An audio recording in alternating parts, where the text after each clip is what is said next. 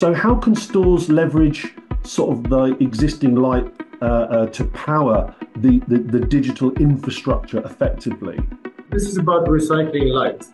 So basically, what we do with our solar cell, I actually have one here. You know, it's it's thin and it's beautiful and it's completely seamlessly integrated into the rail. So the rail is the solar cell. Wow. The, the solar cell is the rail. So it's just the same rail, but it provides energy, you know, independence. It will take the light from the lamp, convert that light energy to electrical energy, and store it in this tiny little rechargeable battery.